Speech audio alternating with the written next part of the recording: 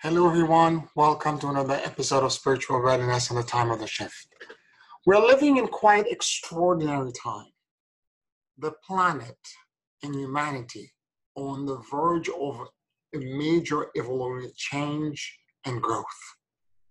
But it is also a very perilous time for, in order for a new edifice to be built, the old has to be demolished.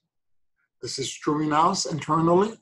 So we have to do the shadow work that's necessary to disconnect us to the old belief system of survival and all the emotions that are attached to it so that we can begin to create the new reality that we want to exist in. All of us individually and collectively are doing this.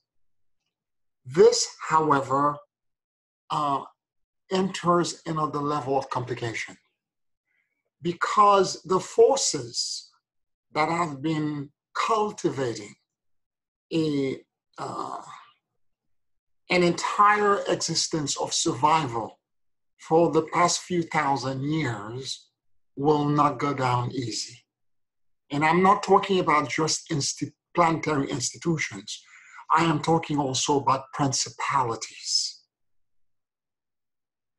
disembodied uh, fallen celestial beings who have vested interests on all of us remaining into the 3D reality, while the emerging energy that's rising up, that's taking us into the higher densities and the evolutionary change uh, is still uh, in the process, as not completely grounded. Now, uh, I want to uh, uh, uh, foreshadow this by saying that next week, for my next video, I will talk about the actual Twilight Masters and actual uh, individual uh, modalities and false beliefs that are pervasively being spread out there, trying to dissuade all of us who have a mission and a purpose for this uh, coming change.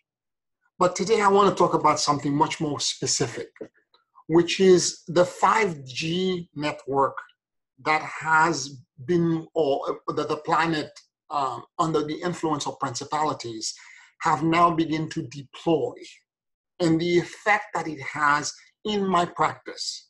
I'm not talking about what other people are seeing or perceiving. I'm not a scientist. I want to qualify this by just saying this. But I can tell you in my practice for the past month, what I have witnessed is terrifying. And as these clients are coming to me feeling um, a sense of loss in their spiritual clarity, they're inside shaking, they are shaking but from the inside, or a sense that um, they have headache, migraines, or blurry vision, or off axis in some ways feeling completely disempowered as if something is not right, that they are not comfortable in their skin, that they've seen dramatic deterioration in their bodies, in the way they exist in their body in a very short time, usually a few months. Okay? And when I do a clearing for them, which is the process by which I do an implant and device removal from them, the first one that I did terrified me because the cellular structure of every cell in the body was disintegrated, was, was being dissolved, bottom line. And because we have a natural protection system in, um, in us, that each cell exists in a kind of magnetic, um, um, has a magnetic field around it, that magnetic field, when the cellular structure is destroyed, is disintegrated. And when that happens, then implant and devices can enter and lock into the system.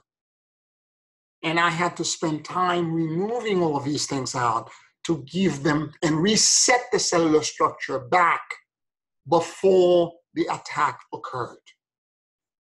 And the last piece of this was to help them find immunity against this kind of infection.